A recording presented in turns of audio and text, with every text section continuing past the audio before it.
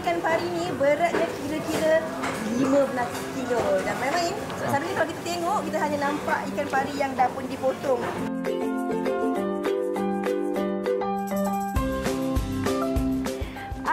Penonton? Fiza berada di Pasar Seksyen 6 Shah Alam. Hari ini topik kita tentang variasi menu ikan pari. Tapi sedap dimakan, tahukah anda bagaimana rupa sebenar ikan pari dan cara untuk memilih ikan pari yang terbaik untuk dijadikan hidangan dalam resepi anda? Jom ke Fiza.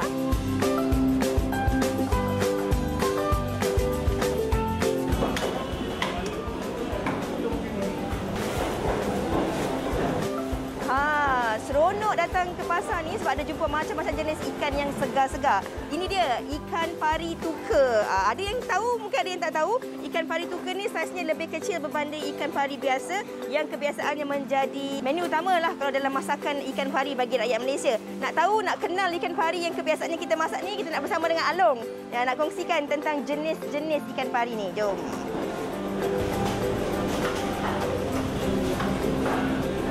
Ha, ni pari betina.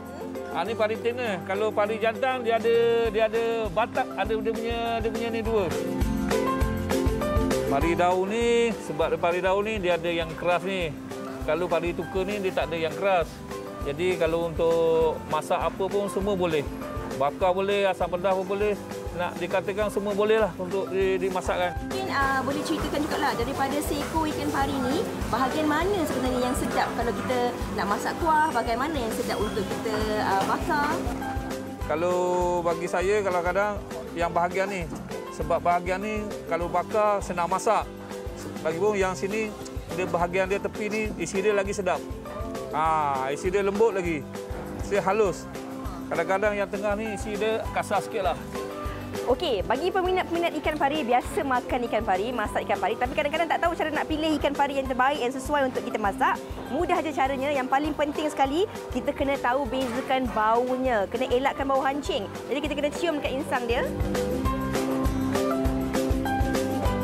Ada perbezaan eh, bau di uh, antara kedua-dua uh, ikan ni dan uh, kalau kita nak tengok juga kita pastikan uh, dagingnya berwarna sedikit putih bukan berwarna merah bermakna ikan tu ikan yang baru dan ikan yang sesuai untuk kita masak. Betul tak?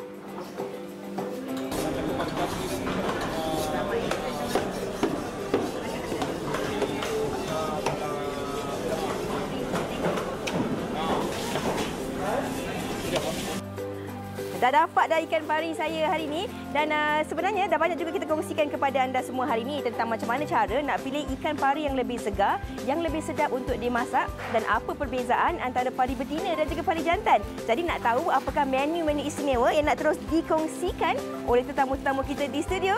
Jom kita tengok. Wanita